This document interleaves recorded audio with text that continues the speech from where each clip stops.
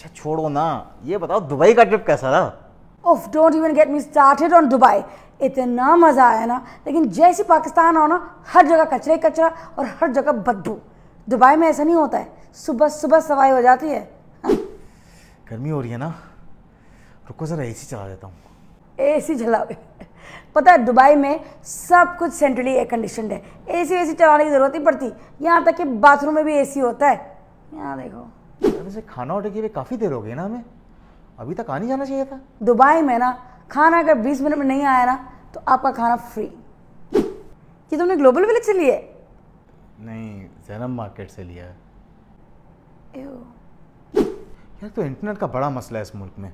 चलता है तो इतना स्लो इंटरनेट तो भाई दुबई का है। अभी आपने व्हाट्सएप मैसेज सेंड नहीं किया और आगे से सामने वाले का रिप्लाई भी आ गया।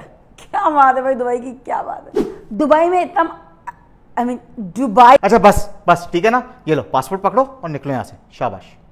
अरे पागल वहाँ पर सिटीजनशिप थोड़ी मिलेगी मुझे। अरे पाकिस्तान जैसे कोई और मुल्क है बताओ कोई और मुल्क है। नहीं ना आई लव पाकिस्तान। मैं तो बस कह रही थी कि दुबई हॉलीडे के लिए अच्छा है। अभी दुबई दु- दुबई